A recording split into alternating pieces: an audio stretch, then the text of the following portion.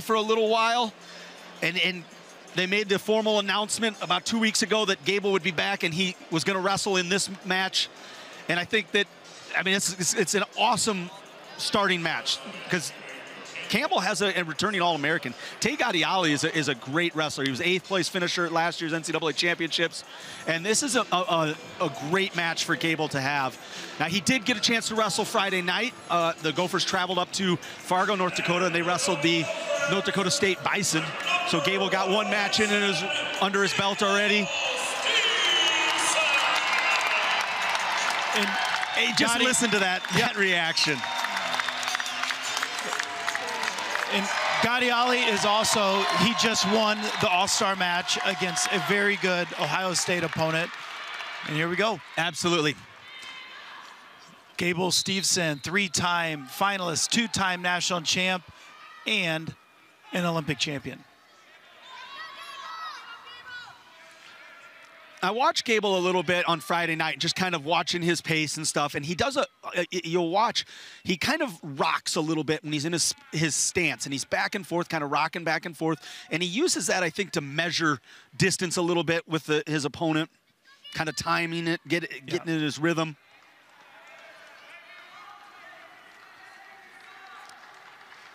It's been a little while, obviously, since we've seen Gable in a, in a Minnesota singlet. It's been a couple years. I, he's he's he's put on some size too. I mean, his legs are stronger. His he he looks physical. And from his match on Friday, he still has the quickness. And as the season progresses, it'll it'll be interesting to see how he can continue with the speed and his strength.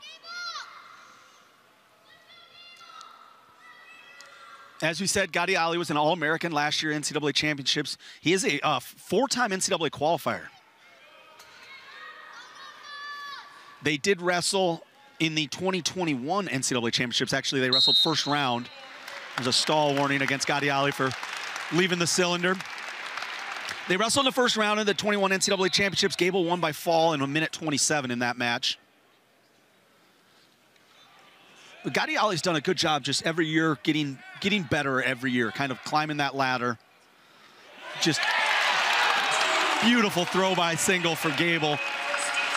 Another thing that you and I talked about after Gable made the announcement that he was going to come back is that this is the first time we'll see Gable wrestle in a three-point takedown error.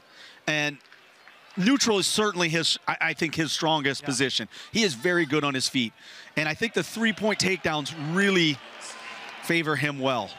Exactly. That'll be. I mean, he's going to rack up a lot of points. hmm He did so on Friday night en route to a technical fall in just under two minutes. So 50 seconds left in the first period. Gable Steveson is up three to one. Ghadiali has been warned for stalling.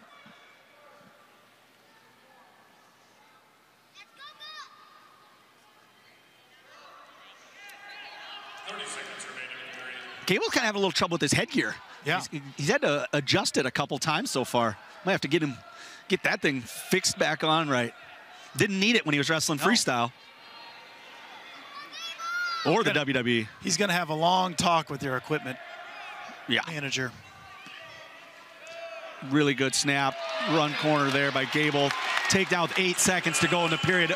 A, a wonderful time to score. And three point takedowns. Two takedowns. He's up six to one.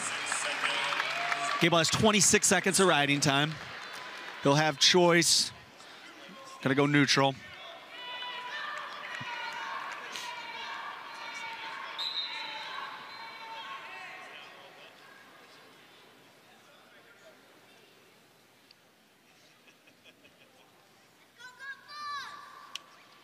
We got a chance to talk to the coaches a little bit in the last couple days as well. And it sounds like Gable has been, even though, you know, they made the announcement that he was coming back, uh, you know, about two weeks ago now. But he had been in the room prior to that. He had been in the, in the room training with those guys.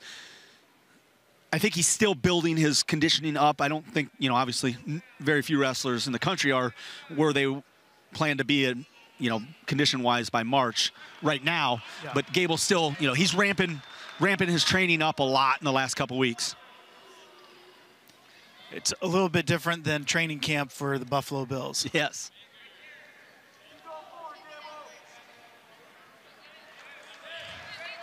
Gable just kind of trying to, he's having trouble getting into his ties.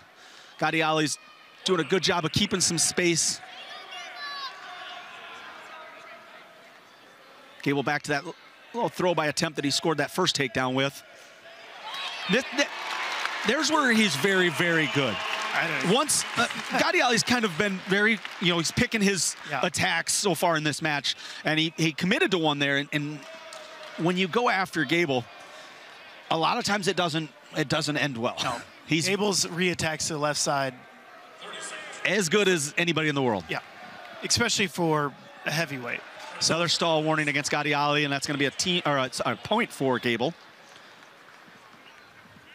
It's something we don't see all the time is Gable working on riding time. Yeah. He's close to the minute mark. And now he has a minute of riding time. 10 seconds left in the second period. Steveson up 10 to 1.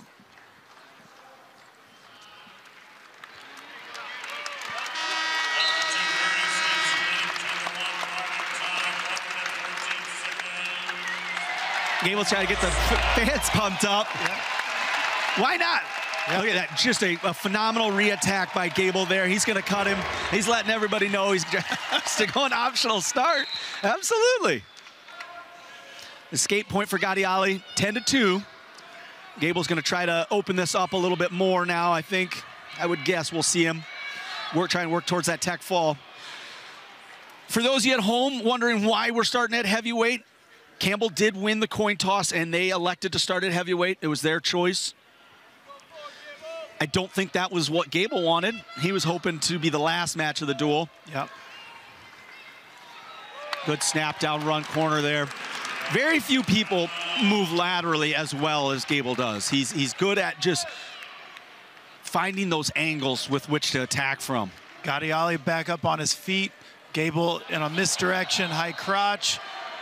Can't finish there, but the attack was pretty smooth. Good defense by Ghadiali.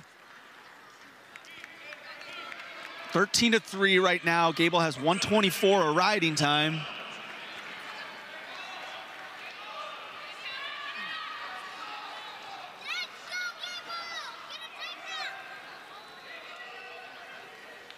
Forty-five seconds left in the third period. Gable in on a blast.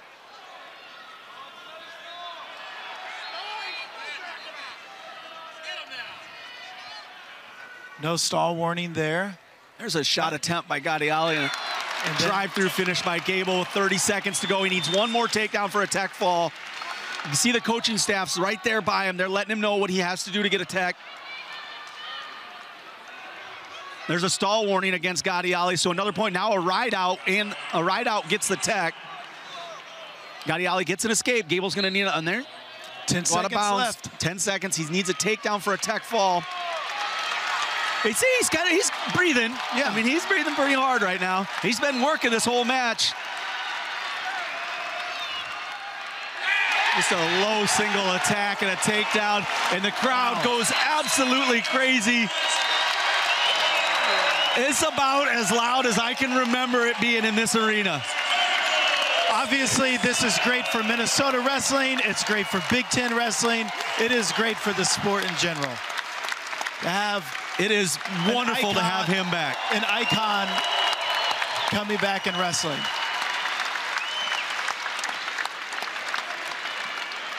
Twenty to four technical fall for Gable Steveson. Gives the Gophers five team points. They lead in the duel five to zero after one match.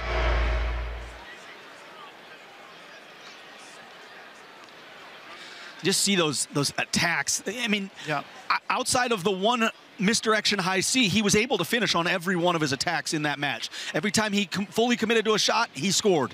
And everything Great defense right. by Ghadiali because that misdirection high crotchety, how do you stop that? Right. And now we have number 26 ranked Anthony Molton for versus Cooper Flynn, number four, ranked 14th in the country. I always like it's always funny to me when we start when you know you don't start the traditional 125 pounds and you flip from the big guys down to the 125 pounders, and usually, you know now these guys are a lot faster than what we just watched, but that's not the case. Maybe No, we're. Gable's on the mat. Anthony Molton, a graduate student out of Crest Hill, Illinois. He was selected as an alternate for the NCAA championships last year, but was unable to compete. He's going to get an opening takedown. Great job by Anthony Molton there to get the first takedown of this match. Gets a takedown and right away attacks the wrist. Yep. Flynn to his feet, trying to fight hands, and he's up and out. And this is Flynn's first home duel because he had a forfeit against Yeah. Bucknell.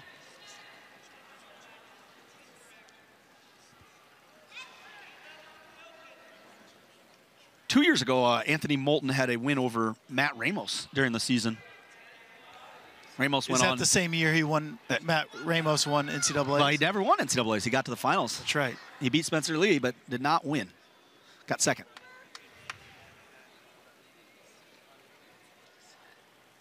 Molton was a state champ out of Illinois in high school.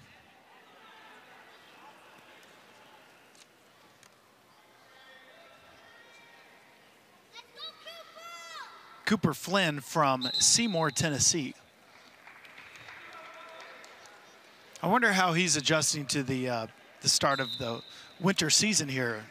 It's a bit Cities. different in Minneapolis than it is in Seymour, Tennessee.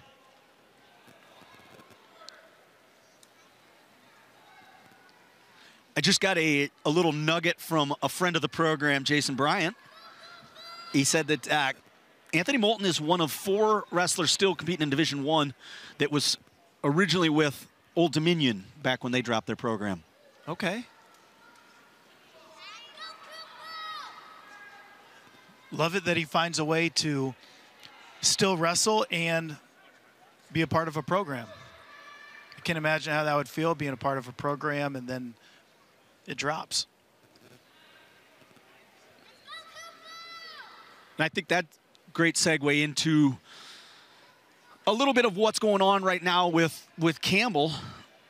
We had a chance, I talked to Scotty Sentes, head coach Scotty Sentes, a little bit before the duel, just about kind of what's going on with, with Campbell. Obviously, the news back early in October with some of their scholarships being reduced a little bit.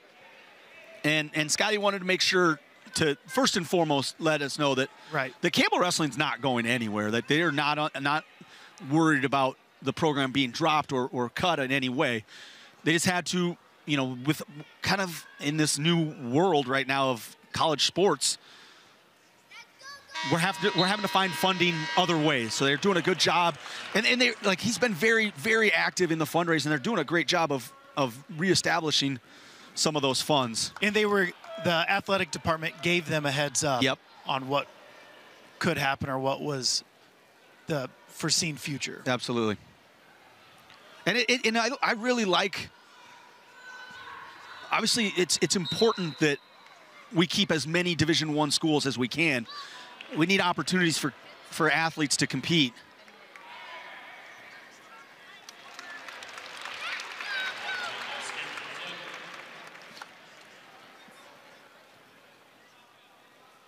Another escape for Flynn. Trails in the match three to two. Molton has 19 seconds of riding time.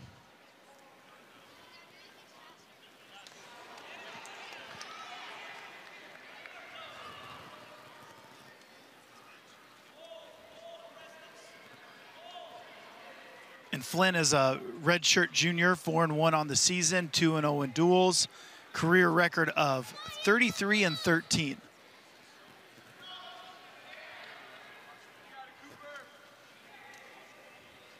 Last year, did he make it to the blood round last year? I believe he did.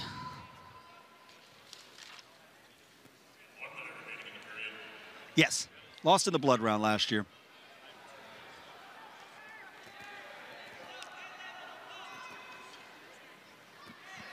Fifty seconds left in the second.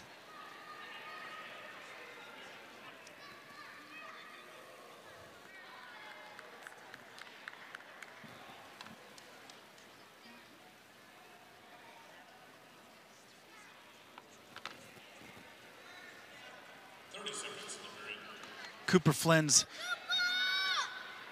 tie-ups are getting a little bit more physical here, trying to open up Molton to get to a leg attack, and Molton doing a very good job staying in position. Yeah, it, you know, it seems like Molton really likes he likes to wrestle from space. He's Yeah. that first attack he had, he's fast. I mean, he's got the ability to close that gap, get to the legs from space. And you're seeing a lot of times in wrestling, you see that contrast in styles. Cooper's trying to close that gap, get in, get into his ties, get to his offense. And it's hard. I'm assuming that Molton is also left-handed. Mm-hmm. He's Big left leg lead. yeah, Very staggered and that can be very hard to score on as well and get that feel. We will start neutral in the third. Flynn on that re-attack. He's got the ankle. We're going shin whizzer from Molton.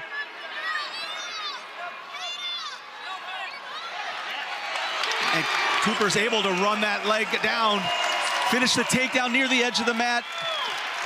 And then a, a great job of circling back towards the center, Yes. not letting Molton find that out of bounds. And as soon as Molton's elbow hit the hit the mat, Cooper attacks the wrist. Yes.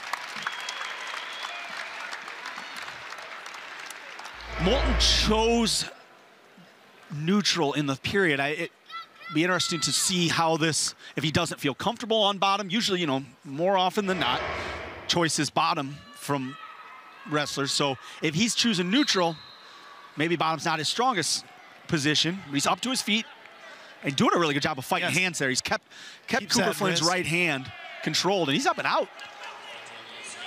Escape from Molton now makes it 5-4 match. Cooper Flynn leads.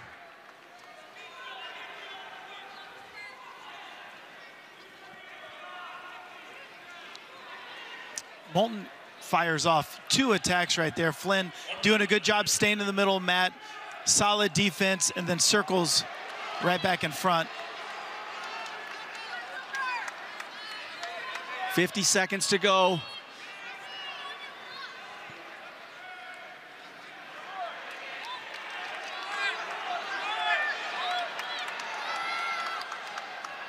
Molton doing a good job He's- controlling the elbow and Flynn just Short- can't get that arm out. yeah. He goes pretty. He's going pretty long on his el- like Yeah. on his lock. Molton up, back up, 25 seconds to go. Molton needs a takedown. Neither wrestler's been warned for stalling yet, and as I say that, we've got stalling against Cooper Flynn. Molton firing off attack after attack. 10 seconds to go. Flynn gonna put that Tennessee squeeze on him down here and just. Wow. Flynn Great holds match. on for that 5-4 win in a phenomenal match.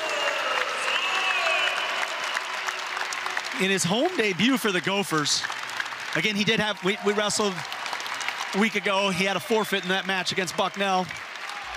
The fans sure love him. We'll see right here as he's uh, getting up to his feet, fighting hands.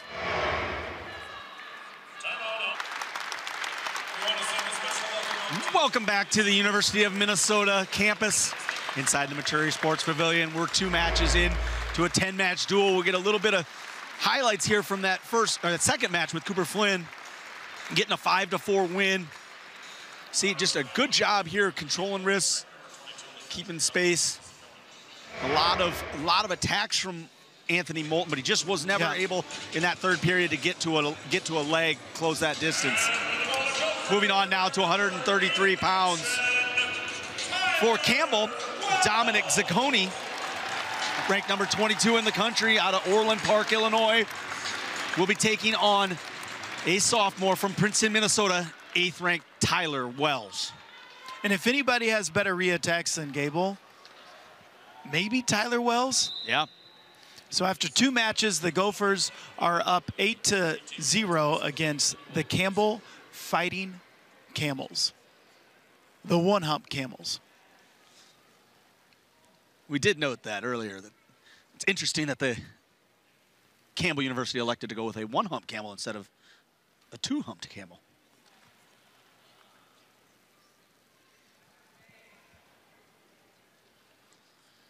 Wells, as you said, very, very, very good with his reattacks. A lot of times you'll see him you know, he, he takes control of the mat, put everything's usually pressure forward, forward, trying to almost force that his opponent into a shot where he can hit it to get to his reattacks.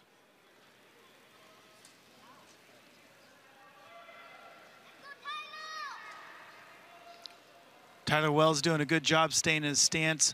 Zaccone tries to tie up a two on one, and Wells fights right out of it.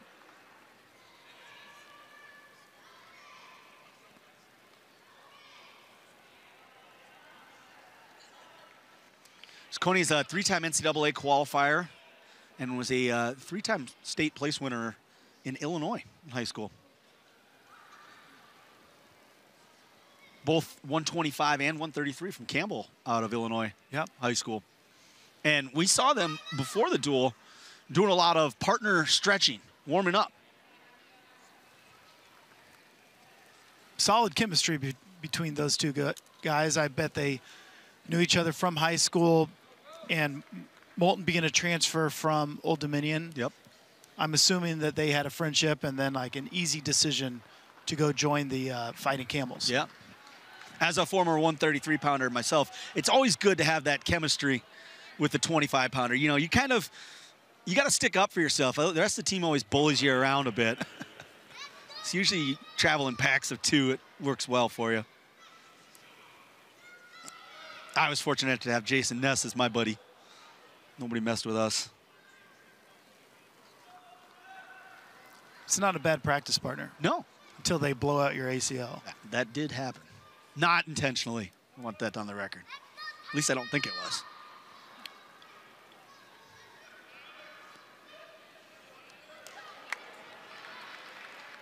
Wells has a long shot from a two-on-one.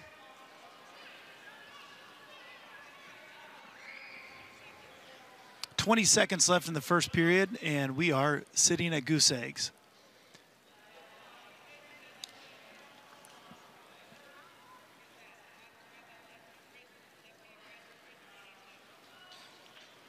Zacconi also a big left leg lead. Yeah. You know, it takes it takes a while to get used to that. I feels awkward to me, yeah. even just standing with a left leg lead. Tyler will have choice to start the second. He's going to start in the bottom position.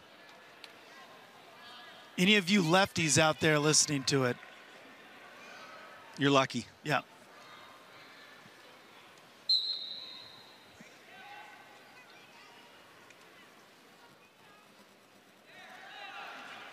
Zaccone brings him back in uh, A little bit of a claw. yeah.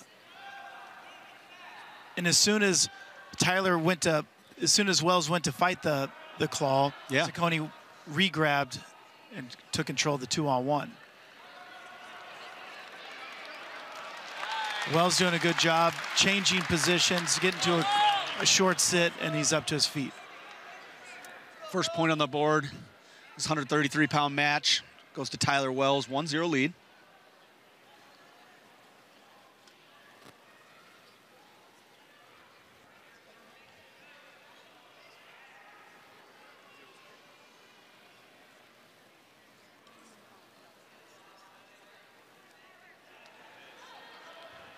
Nice level change attempt by Zaccone. Wells trying to get light on his feet, bouncing around.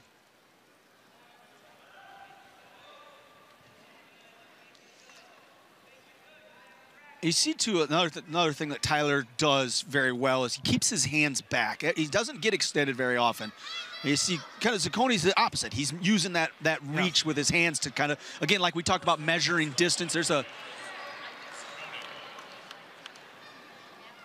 I think both wrestlers maybe just got warned for stalling. Yeah. Or I, that was just Zaccone. Wells in on a cross single, knee pull. Zaccone doing a good job with the shin whizzer.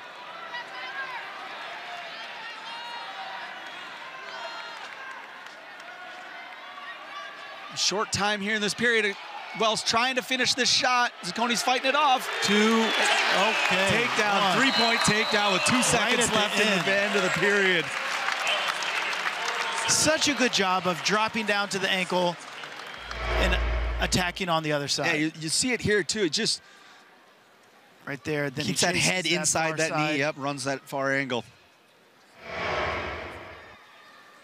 Zaccone starts down in the third period, up to his feet almost immediately. Tyler's not uh, doesn't ride all- that often. Again, it's kind of he he likes to be in the neutral position, feels very comfortable in neutral. Zaccone's out for one point. A four to one lead for Tyler Wells. 18 seconds of riding time in favor of Dominic Zaccone. Wells did a good job with that inside tie, getting his head right to the inside so he can also have a solid down block. Now back in on the leg again. Shelf, attack Flex far that leg. far leg, yep.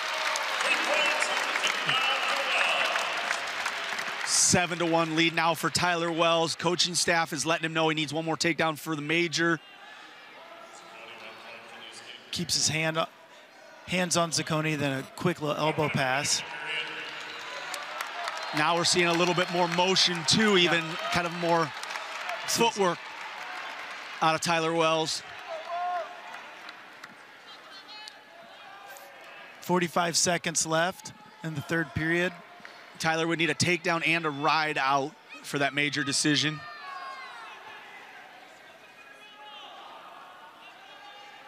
There's a good attempt by Dominic Zaccone. He's in on a leg. Tyler trying to sit corner.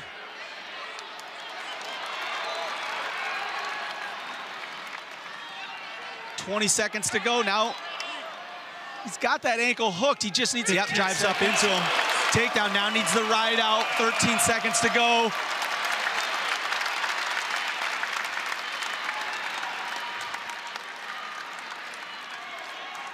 Short time, and that looks like Tyler Wells will hang on for that major decision. He's going to get the ride out in a 10 to 2 win. Really good job of building that match as it went on. He started to show more energy, more pep in his step, more movement. Was able to use that for a couple takedowns in the third to get that major decision. 10 to 2 win for Tyler Wells. Gives the Gophers four more team points. They lead in the duel now 12 to 0 after three matches. Moving on to 41, we have returning All-American Vince or Vance Vombaur versus Shanna Hanna. Shannon Hanna, ranked 30th in the country out of Lakeland, Florida. Is a two-time NCAA qualifier for Campbell. Qualified in 2022 and 2023, and then redshirted last year and represented the Bahamas in the Olympic Games qualifier down at the Pan Am's and wrestled uh, in the U23 Pan Am Championships. Right off the whistle, he was third place finisher in U23s for the Bahamas. The Bahamas, i probably weather-wise, a bit different right now than Minneapolis, Minnesota. Fortunately, we are inside for Shannon.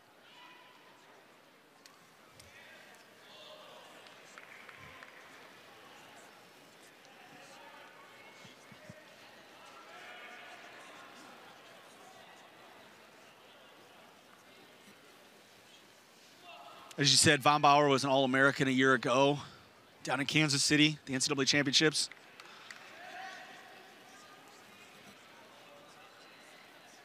So far, both guys are being very active and has some shot attempts by both of them.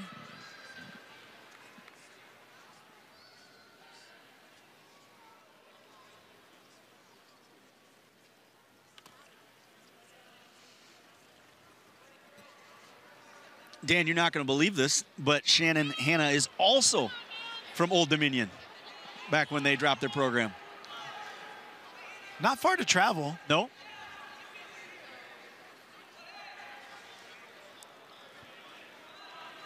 I'm glad that Jason's still listening. We didn't scare him off after some of our early antics.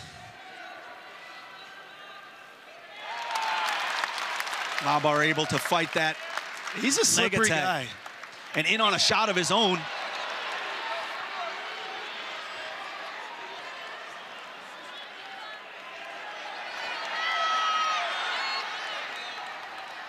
Trying to stay on the edge. Hanna's trying to work towards the outside that cylinder. Von trying to pull him back to the center and finish this leg attack. Plenty of time still left. Yeah.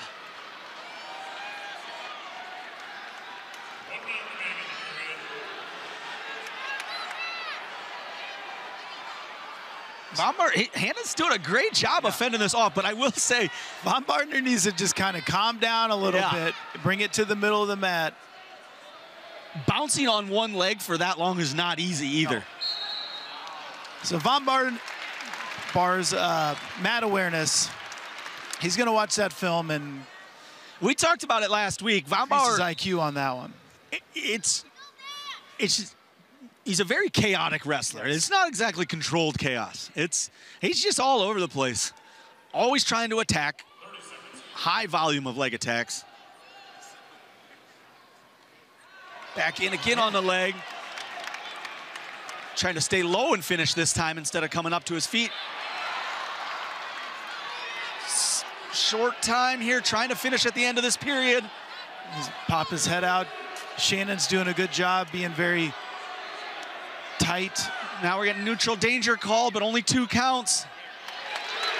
Nothing yet. There the ankle's hooked with Right one second to go. Wow. Did a great job of hooking that right ankle, or hooking with that right ankle to get that takedown right at the end of the period. Good thing for Vombaur with his chaotic style of wrestling. Right. He is in great shape.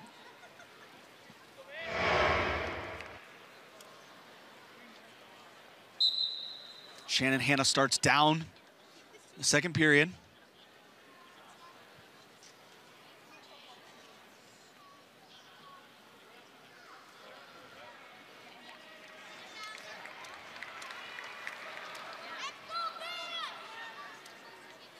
Heavy claw and Vombaur trying to scoot Hanna's leg back to break Yeah. him down. And Shannon Hanna's doing a good job just keeping that position. But he's looking for, yep, that quick explosive stand up. And now they're back out of bounds. Riding time up to 35 seconds.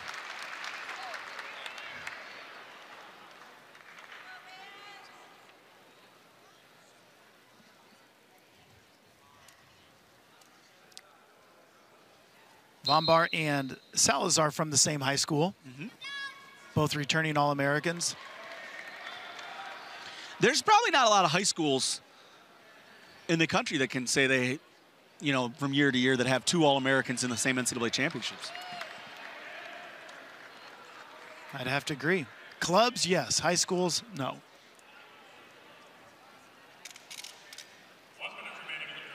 Great job by Vombaur getting that near wrist.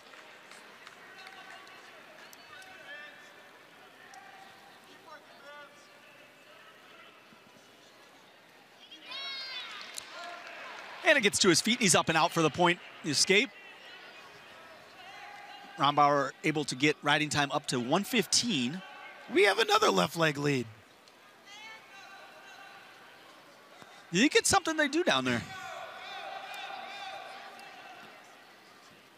Be interesting to know what the O- percentage. Only recruit left-handed Yeah. wrestlers. I like it.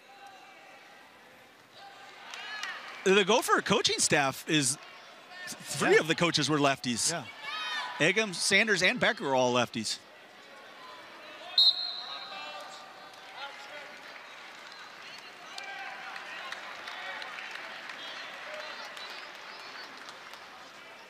Vombaur back to the center, ready to go.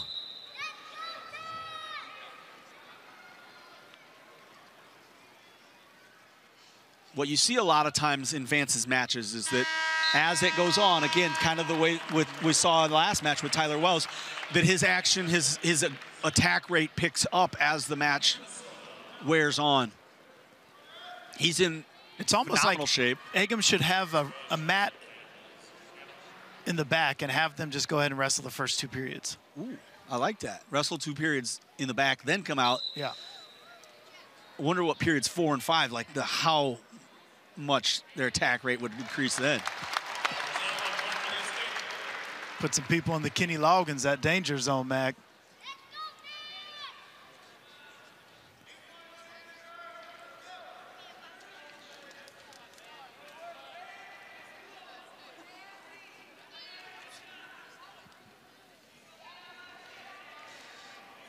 So Shannon Hanna do very good hand fights, but his his feet aren't moving. Nope. And if he can work on heavy hands, but also moving your feet at the same time, it's going to be it's going to open up your offense a lot more well. effective. Again, Vombaur in on a leg, trying to finish near the edge. Needs to just pull him all the way to the center. You see this a lot. Just, just pull this, pull your opponent You to have the time. center. There's there's a minute. Good finish there. Able to finish right on the edge. Another takedown for Vance Vombaur. Seven to one lead. Riding time over a minute. Gonna Go out of bounds. I think what you'll see is, I would assume, Gopher staff will have. Yep, back Luke's letting Vombaur know we want to go optional start, cut him, get another takedown, try and work for bonus points.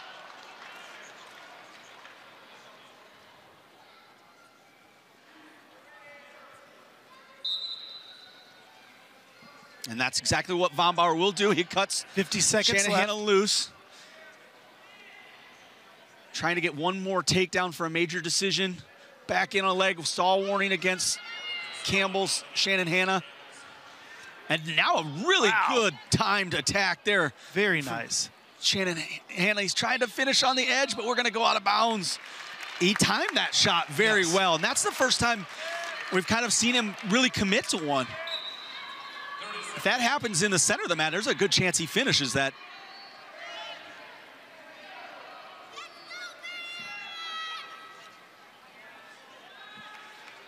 Nineteen seconds left. Von back in on the leg, trying to finish this takedown for a major decision. He's got both legs. He's got a takedown. Wow. Five seconds to go. He's going to get the ride out. Very Add an nice additional single. point for riding time. Makes it an 11 to 2 major decision for Vance Vombaur. And four more team points for the Gophers. A 16 to 0 lead after four matches. Vance Vombaur's your winner here at 141 pounds. Used three great leg attacks for takedowns. Nice return here by Flynn. Wells, Wells, very yep. excited for that win. Absolutely. Crowd. We're four matches in. The Gophers lead 16 to 0. We've got six matches to go. Stay with us. We'll be back shortly.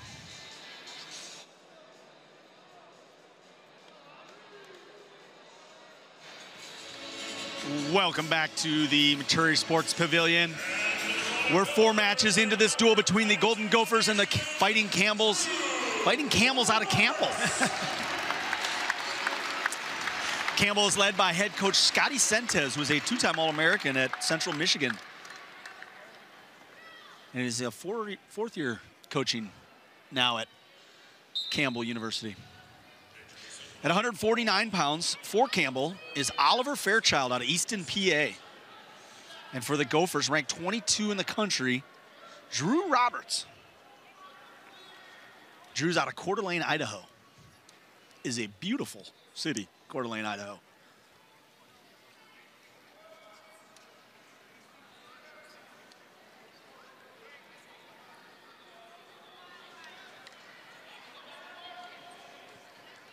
Dan, I got to ask, is that the the I guess the largest knee pad you've ever seen? No. No. no. Okay. Back That- where I'm from, people would double up the volleyballs. Oh my gosh. Yeah. They get real big. So much protection on the knee. A lot of bounce. I I mean if if Drew hits a penetration step, judging by like the bounce of that knee pad, there's just no way he can stay down. Like he has to come up. Maybe that's part of the goal. Nice overtie snap by Roberts. Fairchild in on his shot, but pretty long here. And Fairchild doing a good job of controlling the elbow so Roberts can't spin behind. Woo! Some trickery by Fairchild here.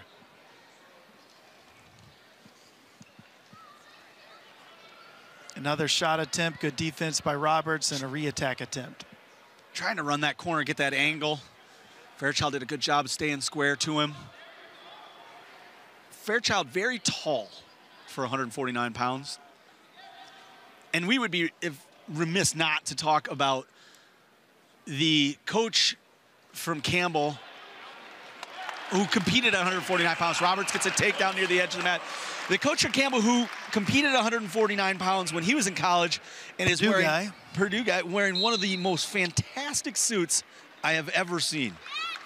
We are talking about Jake Pataxel. Viewers at home, if you get a chance, just keep an eye on the corner of your screen when that camera goes to the Campbell bench. If you see a five-piece orange suit, you saw a five-piece orange suit. You're not seeing things. It is incredible. I can't take my eyes off of it. Do you think you got it from Men's Wearhouse? You're going to love the way you look. Roberts doing a good job on top. Keeping a lot of pressure on the hands with that half and spiral ride. Fairchild trying a little bit of funk of his own. Usually those tall, lanky guys always got some kind of, they got some tricks up their sleeves. They got long sleeves. They got plenty of space to store those tricks. I think he was wearing a hat that said "Make Make Wrestling Fun Again," and so that's why he's trying all those tricks. Gotcha.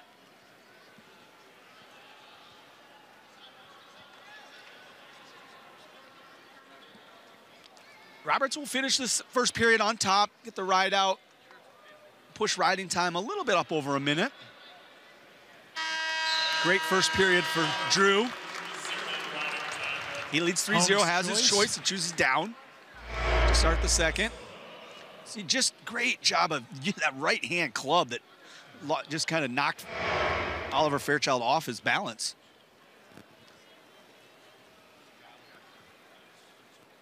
You think we're going to see legs come in? We are not. No, no legs are coming in. No legs today. Drew up to Yeah, his feet, gets that escape quickly.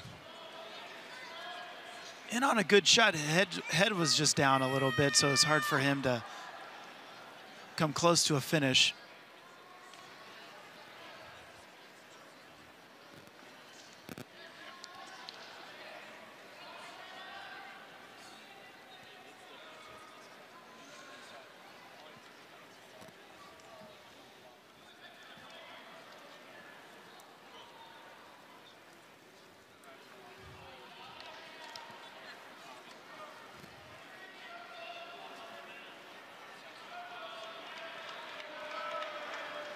Drew just uses that underhook. That, that was an And- easy stall call, right? Yeah, Oliver tried to circle back in, but Drew just kept cutting him off the whole way around.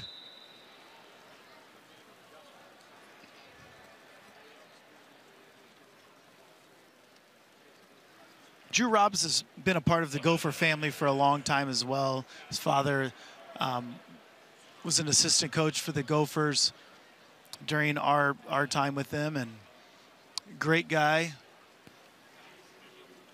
One of the ugliest guys I've ever seen, but super, super, Super nice. nice. Very nice. Good takedown by Drew.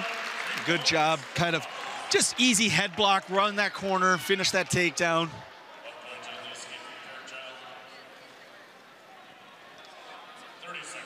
Roberts cuts Fairchild loose. 25 seconds left in the second. Roberts has a minute nine of riding time.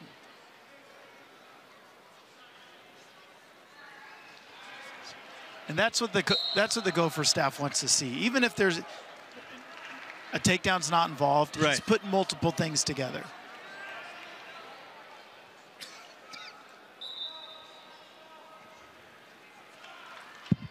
Fairchild again, just Just bull rushed right him. Yeah.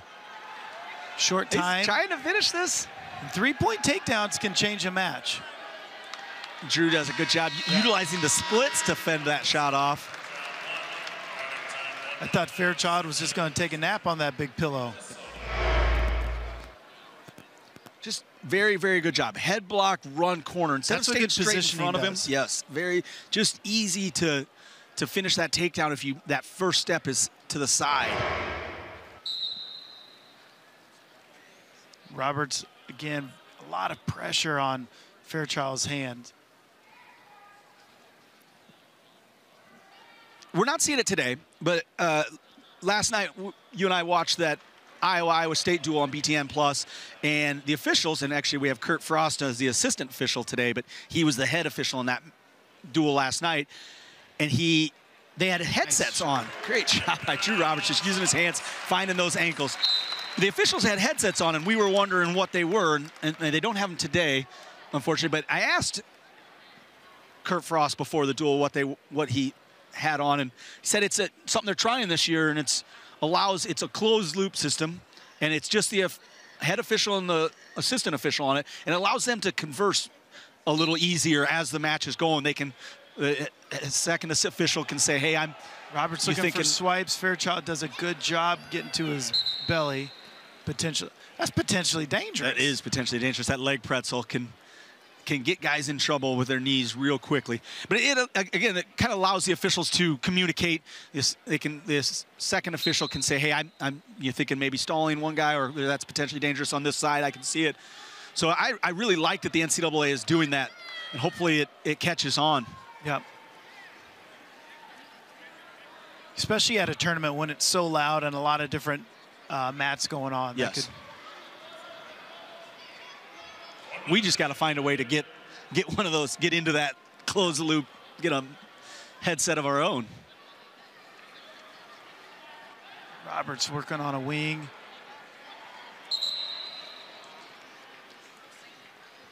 Gonna get that one stopped. Potentially Roberts is well. doing a very good job off the whistle. First move.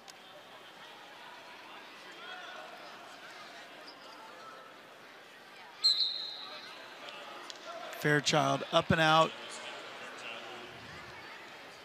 40 seconds to go in this third period.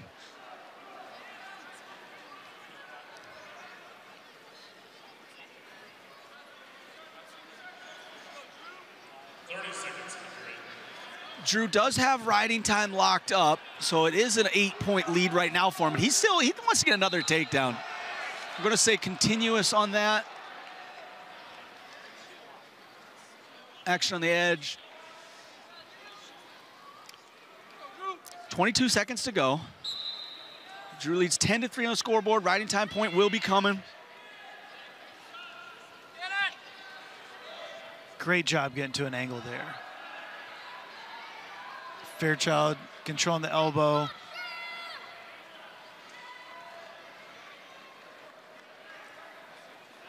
And that's the way this one will end with a bonus points 11 to 3 win. Major decision for Drew Roberts. Four more team points for the Gophers.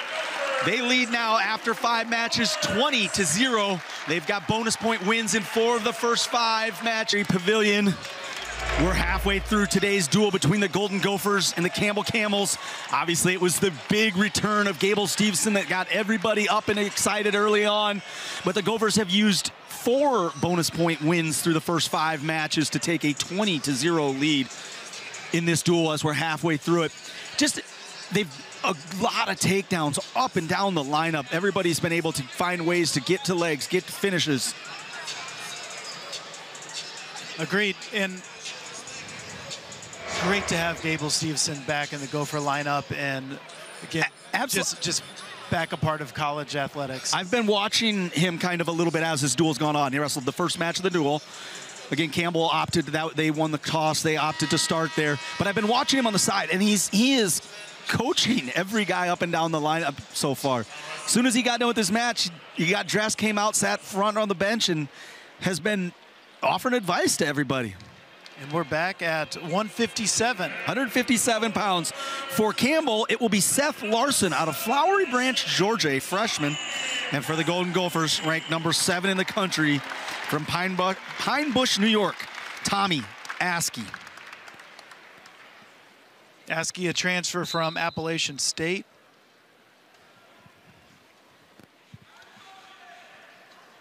Seth Larson was a four-time state champion in high school out of Georgia. Hey, it's always good to see those Southern schools with wrestling programs and then individuals that continue their career after high school.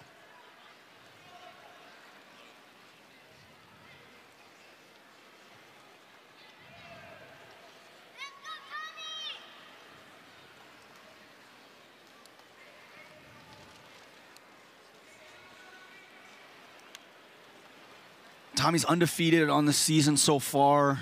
Seth Larson, one and three. Askey ranked number seven in the country.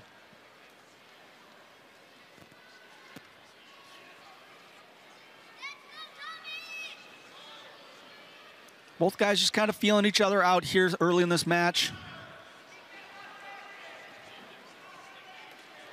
No real committed attempts out of either guy so far.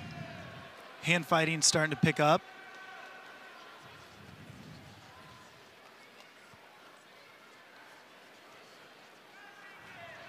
Minute 40 left in the first period.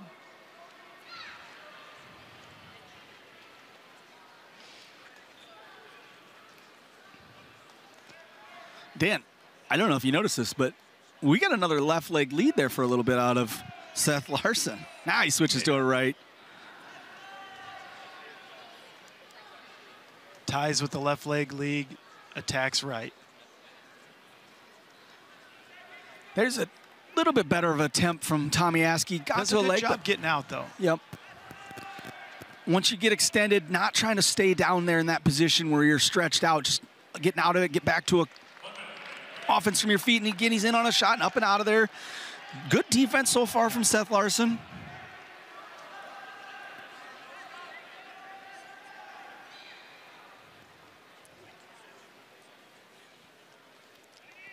One thing so far that we've seen out of the Gophers today is they're doing a very good job of finishing periods. They've throughout the first five matches they were able to get takedowns or or escapes like right at the end of each period, which is a great time to score. See if Tommy's able to And fight for bonus points. find that same success.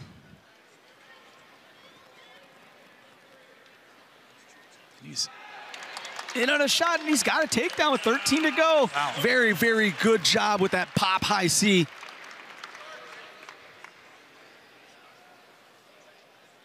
Askey trying to keep him flat and not let him work out and sneak an escape in at the end. He's doing a, a little bit there at the end of the period at- when he was riding. He was using his head. I like to see that out of a guy on top. Again, there's that just kind of that little pop misdirection shot. He just runs through it.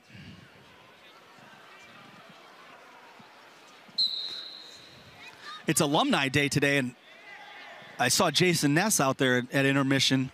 I'm sure he loves to see how, with the way Yeah. Tommy Askey's riding there, using his head to drive down.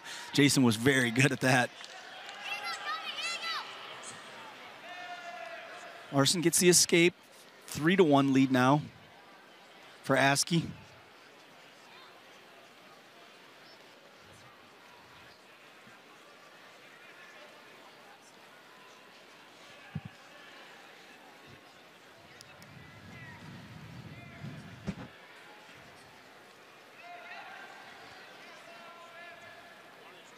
So Askey heavy right leg lead, but all of his attacks are to the left side of his opponent's body. Yeah.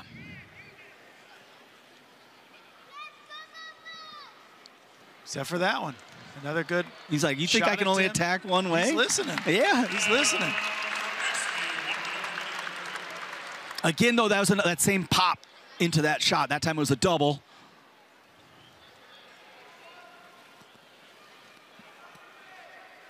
Forty-five seconds left in the second. Askey trying to keep him flat right on the edge of the mat. Work on riding time. Again, too, he's doing a good job. Like, dr- he's driving with his toes in the mat, putting so much pressure forward. Trying to keep weight on the hands.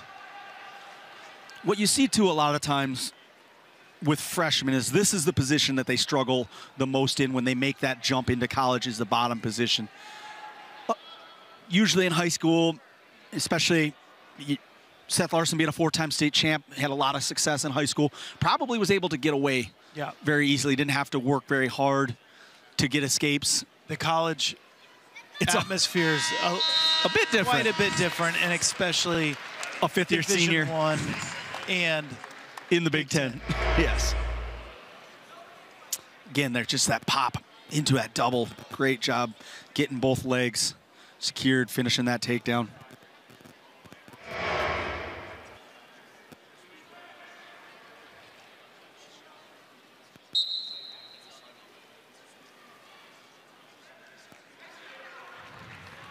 Askey up and out for the escape, a seven to one lead now. There's a first committed attempt from Seth Larson.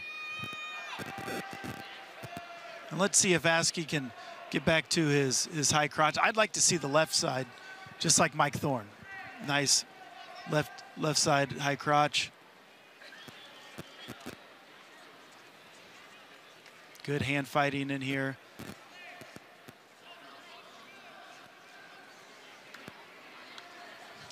That time, Seth did a lot better job of keeping hands down, got a hand in between to defend that shot.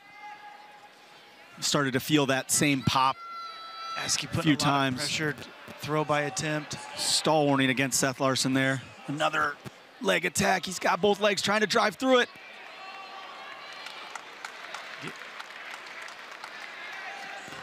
Larson attacking that near leg, and Askey works to get his Tried the leg pass, but yeah, Askey's able to finish that. Just stayed with it. Yep. Kept climbing up. transitions.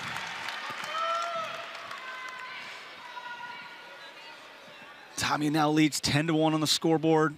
Riding time is up over almost secured. Got it. Riding time secured.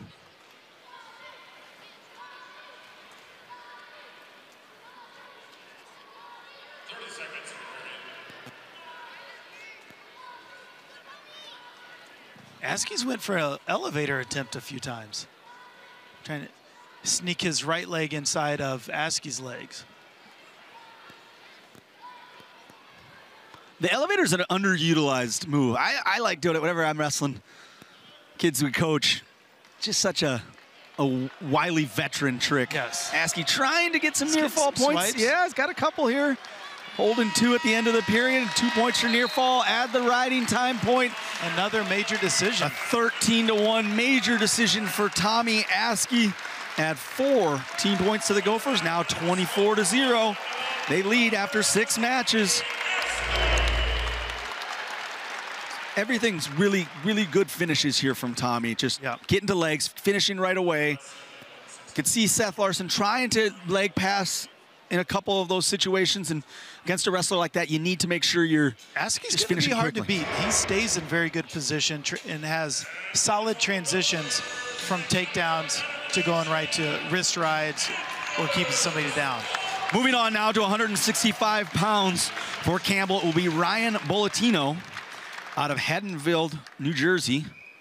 For the Gophers, ranked number 10 in the country out of Costa Mesa, California, Andrew Sparks. One of their original high-paced boys.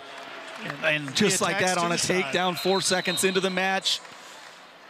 And we have an injury on the shoulder of Ryan Bolatino. He went, t- he didn't really defend that go behind super hard. It looked like something happened to that shoulder right away. Almost like a stinger. You can see here. Oh, no. I think that elbow Just elbow hit the mat, and then I think that messed with the shoulder. Fired right up. Andrew Sparks um, started wrestling his sophomore year in high school in California, and then won state his senior year in high school. California only has one class wrestling, and they got a lot of people. and very good wrestling. So to start as a sophomore and win it is kind of unheard of. Sparks will have his choice now after the injury time. He chooses bottom to start. Trying to get his hips away.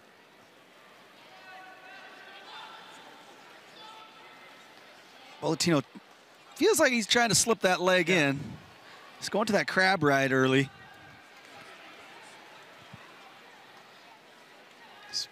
Sparks up to his Good feet. job and he's attacking Yeah. hands. Good hand fight. Now a four to zero lead for Andrew Sparks.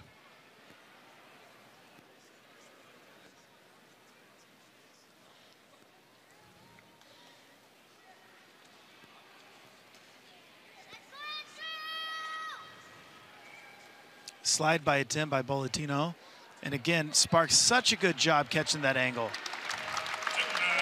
Another takedown makes it seven to zero lead for Andrew Sparks. Right into a tilt. He's a high pace boy. No brakes, all gas, right, Mac Right. Absolutely.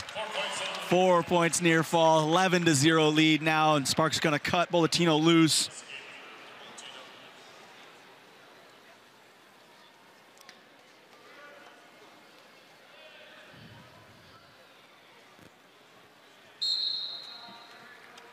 Stalling on red.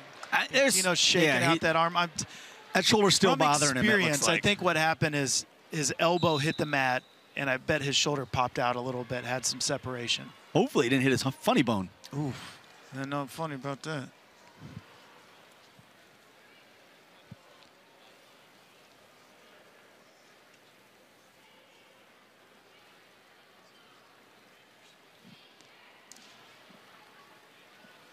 One ten left in the first. Sparks is up 11 to one over Bolatino. Sparks gets another takedown, 14 to 1. and is working for a first period tech fall. Yeah, it, gives the escape. One more takedown would get him that tech fall. And Bolatino goes big. Oh, hips. Lat drop. He's got us. We're holding four near fall, and Bolatino's got Andrew Sparks in trouble. Sparks needs to get his arm through. That's not a. That, Oh boy. Sparks trying to fight this off. Hands That was aren't locked anymore. Sparks going to get out of danger, but that's a seven-point move. Bring Ryan Bolatino back in this match. Yeah. You do not see lat drops very often. That was awesome. I love it. Sparks gets a reversal now. It's 16 to 9. What a first period. Yeah. These guys just A lot of takedowns. put up 25 points Some- in the first period. airtime, baby.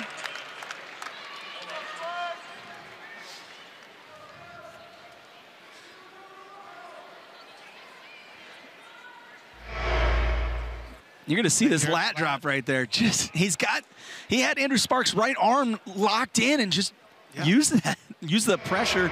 Nothing to lose. No. And it, it like I said, it brought him brought him right back in this match. Shooting for a cradle. Sparks does a good job attacking the top hand. Ref starts counting because you can't stay down on that leg. Come up and he does just in time.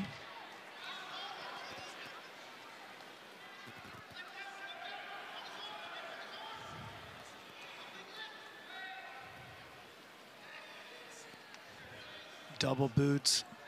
Sparks is wrestling like he might be shell shocked a little bit.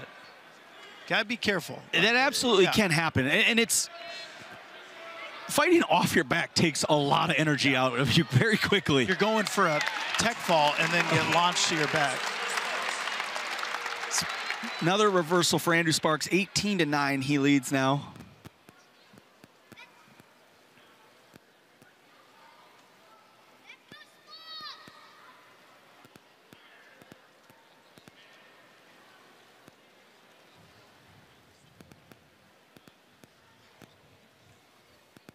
Sparks has him flat, one leg in.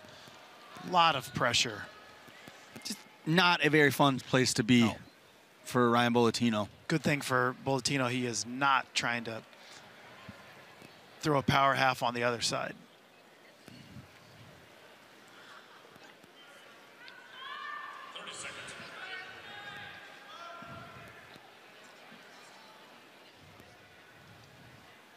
Yeah, the scoring, it's crazy. I mean, just three-point takedown, four near fall. And you're right back in a match. Sparks trying to get that cross wrist roll. Use that same tilt he got earlier in the first period. I mean, I wouldn't be surprised if Getting a little like Bolatino just staying flat. He's doing the right things, but you can't get called for stalling in Absolutely. that type of situation.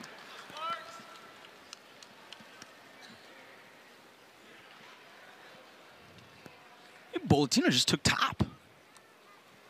I love that. People don't choose top enough. I bet Patacsil is telling him. "Tighten up." Absolutely. Assistant coach Jake Patacsil, very often took top when he was wrestling. And a locked, hands, call. Ref's going to allow him to work through this position. Now, see if there's a chance, you know, they let him kind of wrestle through it. And we have a challenge. We got a challenge, yeah. Camels. Head coach Scotti Sentes disagrees that there was a locked hands call.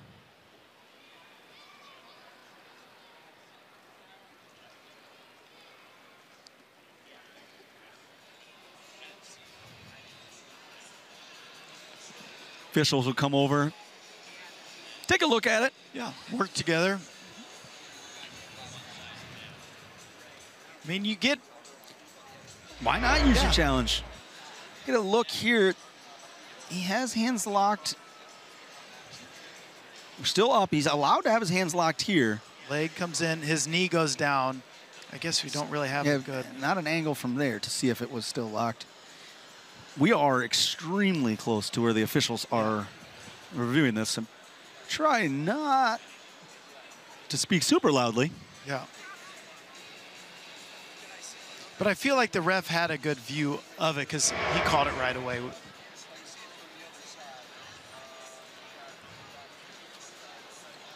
And yeah, we have Patacsil is Talking about what, what to do in top. yeah. That was that orange suit, too, he talked about earlier. It is. Bolatino should listen.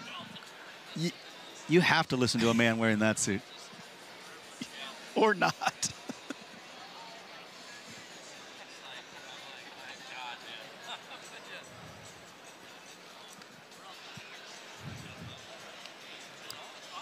Shout out to the officials too. We're getting a chance to. They're doing a great job Yeah. today. It's a rare compliment that I would give to assistant official Kurt Frost. I don't often like to compliment that guy.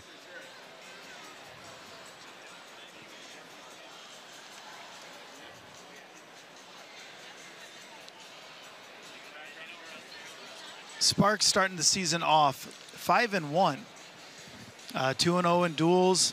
Again, this is uh, his senior year. He's been a part of the Minnesota Gophers for some time, and freshman year we gave him the nickname, or not the nickname, but he was a part of the High Pace Boys.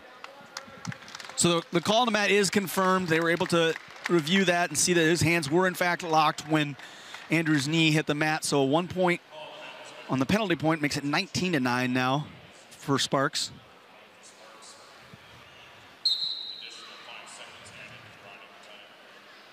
Sparks up to his feet right away, but Bolatino, good mat return and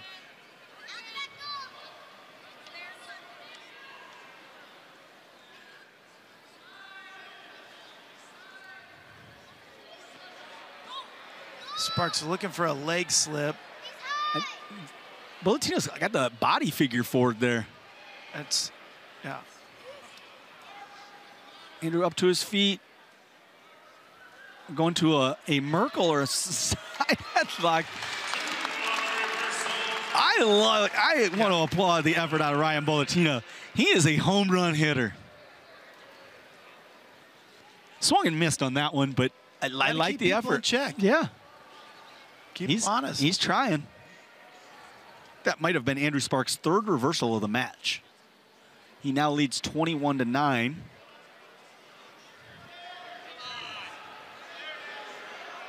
And he's working on rear fall. Holding four. So that would be a Should do it. 25 to 9. And once he's still trying to work for the fall, but once Bolatino, if he if he's able to get off of his back, it will be a technical fall. Sparks trying to get that pin.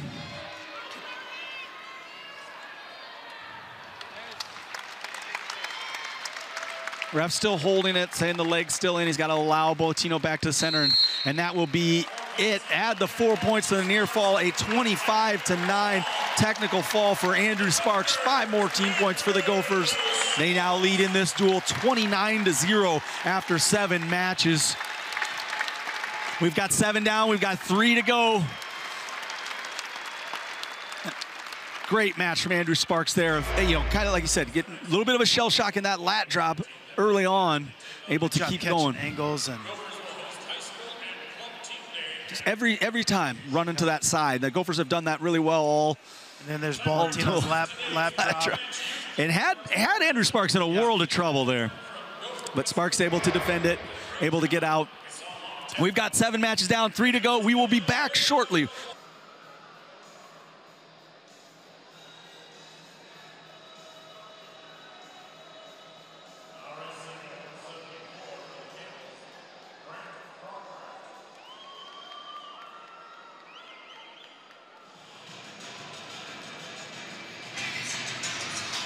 Welcome back inside the Maturi Pavilion. We have seven matches down. We've got three to go. I'm Mac Ryder with Dan Williams at 174 pounds for Campbell. Brant Craycraft out of Two Rivers, Wisconsin. For the Gophers, ranked number 25 in the country, Clayton Whiting, also from Wisconsin. Some Wisconsin on Wisconsin crime going on right here. On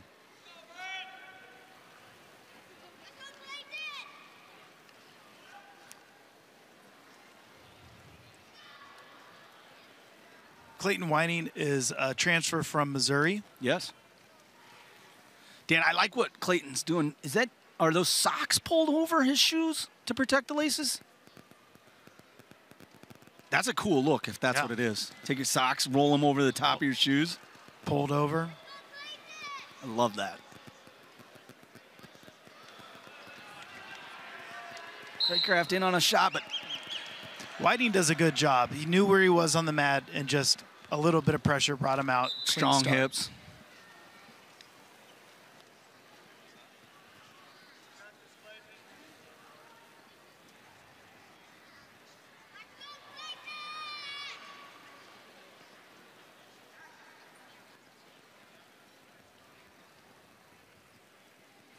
Craycraft using that right hand to kind of keep some distance. You talked a little bit about it in Gable's match, but measuring that Yeah. that distance. Whiting in on a low or a, a long fast shot.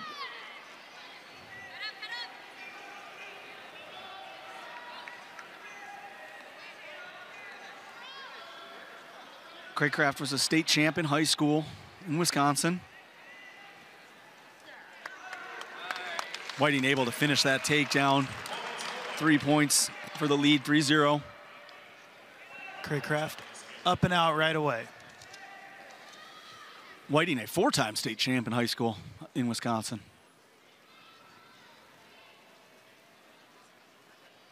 I wonder if they wrestled each other at all. I'm sure they have.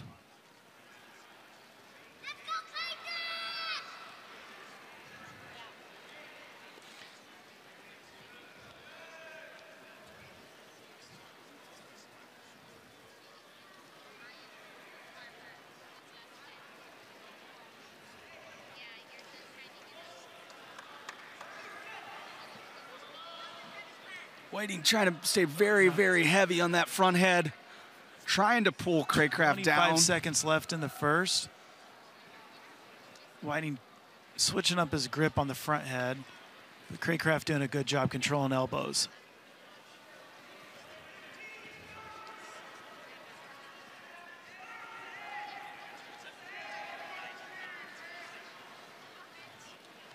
Another long extended shot from Clayton Whiting Short trying time to is finish. he gonna another takedown right at the end of a period. I, they had to have had a, made that a point in practice this week because Yeah. we're seeing it all the way through the lineup. Every guy is finishing. Now, do you think this is something that Eggum is bringing to the table, or is this like Kimmer? I think it's on new guy. Yeah, guy, goes, Michael "Hey, Kemerer." we should try to score more at the end of a period. You guys ever thought about this? what if we just score more points? Love it. Great strategy. Craycraft starts down in the second period. Whiting trying to go far knee, far ankle. Out of bounds here, go back to the center. Six to one lead right now for Clayton Whiting.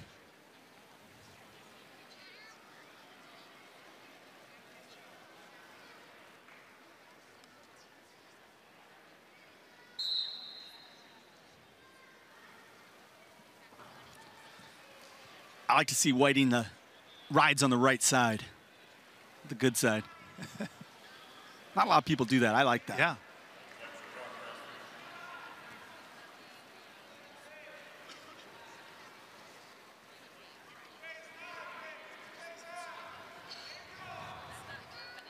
Whiting doing a good job too, keeping that left arm down. With if he's left leg lead, keep that left arm down, not to kind of you know protect himself, not getting extended.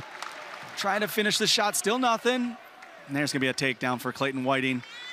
Nine to two lead now. And Craycraft is trying to fight for Trying to scoot his hips down and away. Whiting trying to keep him up into that crab ride position.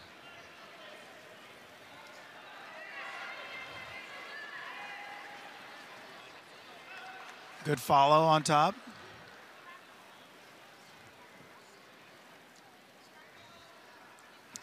And Craycraft up to his feet. Thirty seconds left in the second period. Whiting up nine to three.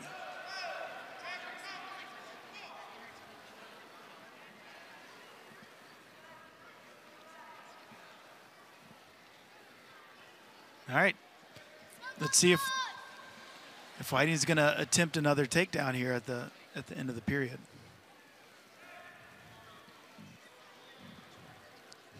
In on a leg, trying to finish quickly. It's secured. All right, good defense by Craycraft. Yeah.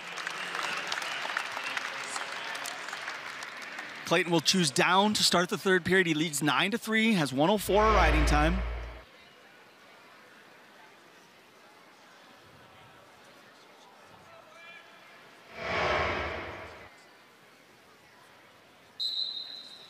Hard switch off Yeah. the whistle.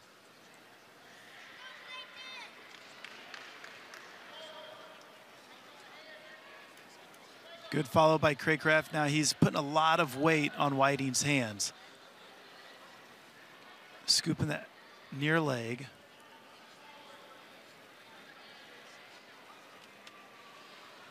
Clayton trying to sit back in him. He's got that leg kind of trapped, trying to sit back into him and finish this. Craycraft doing a good job keeping that wrist control so he can't sneak his inside elbow through. But That's gonna be a reversal for Clayton Whiting.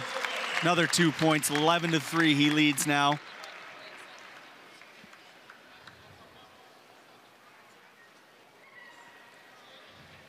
Working on trying to build that riding time. Whiting got to cut Craycraft loose.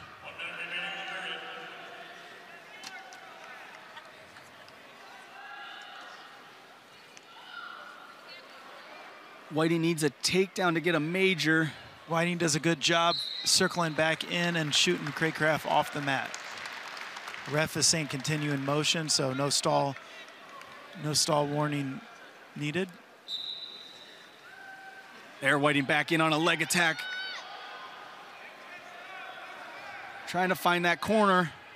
Has his elbow down to the mat, trying to block his leg so Craycraft can't square up with him. There, he's got one leg behind, trying to get two legs behind, shelf that leg of Craycraft. He's out. That's going to get the finish. Another takedown, 14 to 4. He leads. 20 seconds left in the match.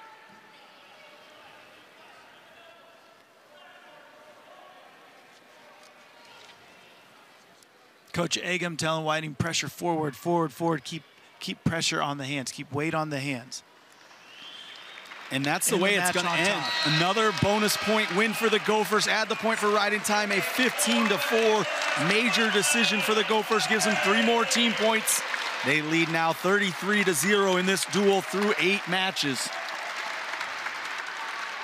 Great job by Clayton Whiting there. Head coach Brandon Eggum in his ninth year now as the head coach at Minnesota. He's been involved with Minnesota's program for a very long time. Such a huge part of the modern Minnesota program. Moving on now to 184 pounds. For Campbell will be Connor Maslinick out of Pelham, New Hampshire. For the Gophers, ranked number 10 in the country, Max McAnally. McAnally very exciting wrestler, very talented, hardworking, um, and we get or the Gopher fans get four more years with him, get four years with him, and he uh, submitted his application to be another high-paced boys, and so far he's on probation. Yep, we're thinking about admitting. Right away, in on a shot. Max is a very, very high volume attacker. Always looking to score. Extremely good wrestler on his feet.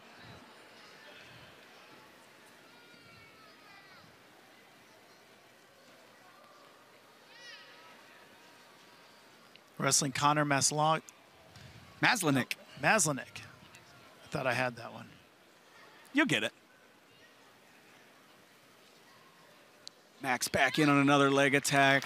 Again, Max is a guy that I think will benefit a ton throughout his career from the, the, the rule change last year to the three-point takedowns. Very good job. I mean, that was a straight single, but then as soon as he had- got his hands locked, cut cut the corner, got an angle on it, easy takedown. Maslinick was a three-time New Hampshire state champ. Kind of like a New England guy, huh? Yeah.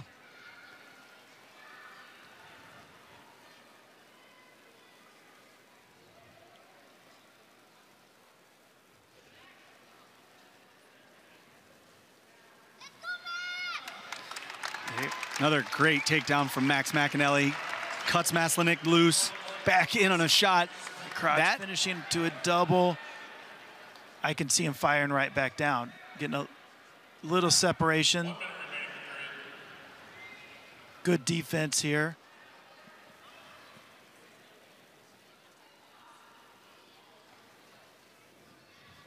Max leads nine to three. Great footwork.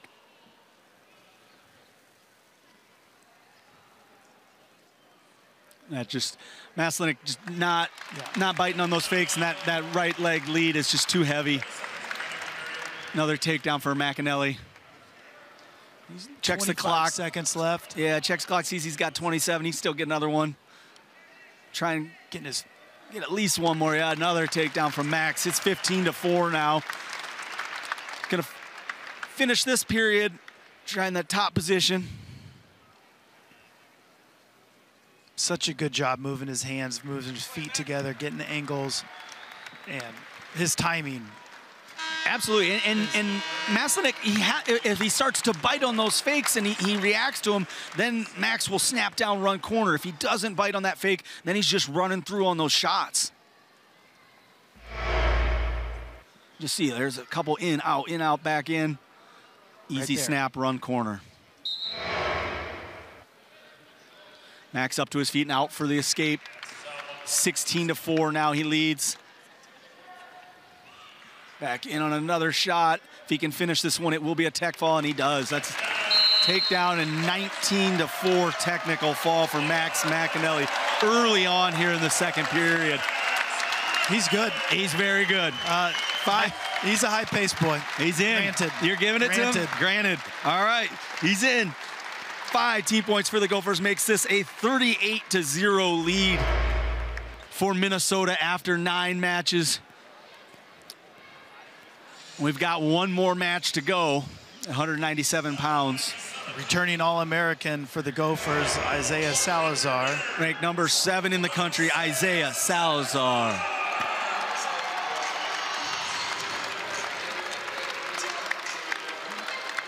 And I believe it looks like we will be getting a forfeit from Campbell at uh, 197 pounds. That wrestler is unable to go. So a forfeit for Isaiah Salazar, six more team points for the Gophers is going to give them a 44 to 0 win on this Sunday here in Minneapolis, Minnesota. Great job by Minnesota up and down the lineup. We talked a lot about it. Almost every single match, finishing periods on top, getting takedowns late in the mat periods. An absolutely electric day. Started at 100 at heavyweight with Gable's return.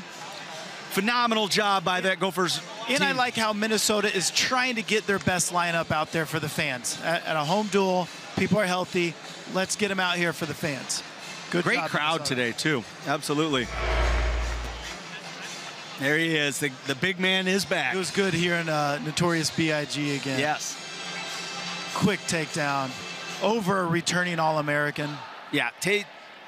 Kay Gatti, Ghadiali was is a phenomenal We have wrestler on another cable. Just solid mat return from, I believe that was Cooper Flynn, Yes. Drew Robertson.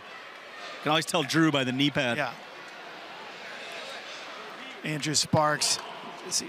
I wonder how many of these quick go behinds we had as a team. Up and down the line. yes. Finding those. And finding those angles. that lat drop was great.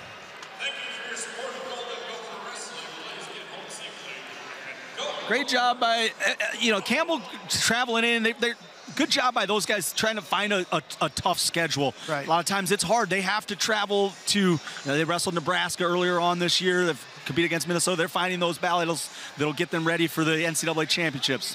Thank you for tuning in. I'm Mac Ryder with Dan Williams. This has been Golden Gopher Wrestling on BTN Plus.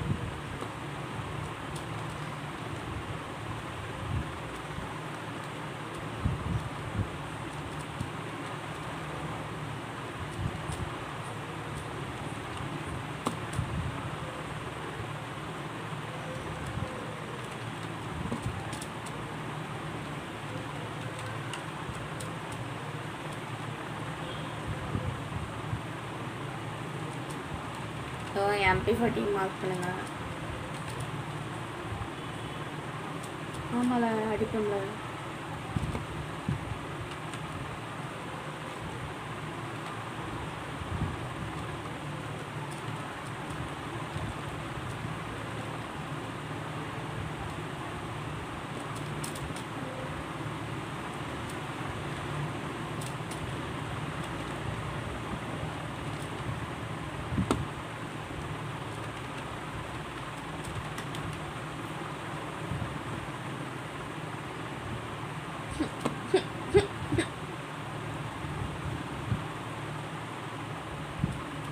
Kudankulam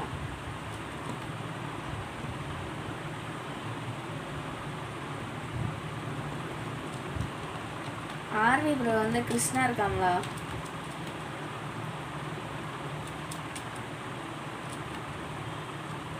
Deepika ஆளு.